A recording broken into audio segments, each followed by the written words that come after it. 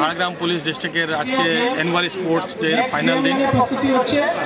সেখানে পুরো ঝাড়গ্রাম জেলাতে নানা রকম স্পোর্টস পুলিশ মধ্যে যে আছে স্পোর্টস হয়েছে।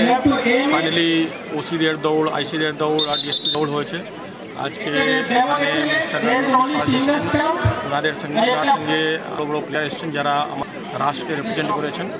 আর এখানে আপনারা দেখছেন এখানে খুব ভালো মহল আছে। পার্টিসিপেট এটা প্রত্যেক বছরই থাকে। আর আজকে একটা আমাদের ফাইনাল ডে হয়েছে।